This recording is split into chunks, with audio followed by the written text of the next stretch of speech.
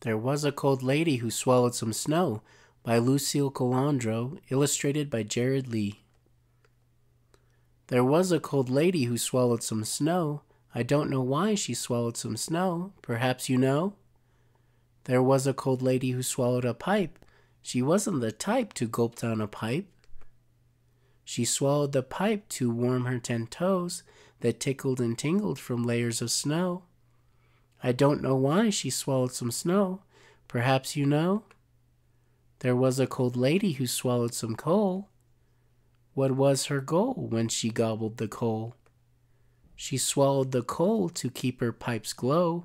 She swallowed the pipe to warm her ten toes that tickled and tingled from layers of snow. I don't know why she swallowed some snow. Perhaps you know? There was a cold lady who swallowed a hat. Imagine that, a black brimmed hat. She swallowed the hat before she froze. She swallowed the coal to keep her pipes glow. She swallowed the pipe to warm her ten toes that tickled and tingled from layers of snow. I don't know why she swallowed some snow. Perhaps you know? There was a cold lady who swallowed a stick, a long brown branch. What a pick! She swallowed the stick to push down the snow. She swallowed the hat before she froze. She swallowed the coal to keep her pipes glow.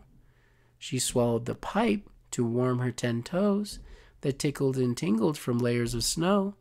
I don't know why she swallowed some snow. Perhaps you know? There was a cold lady who swallowed a scarf, a long striped scarf. She tried not to barf.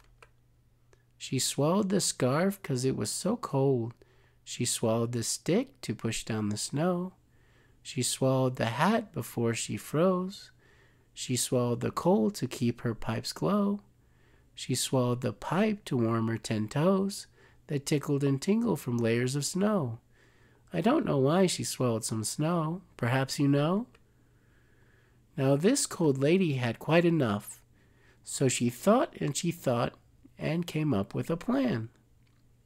She hiccuped twice, and out popped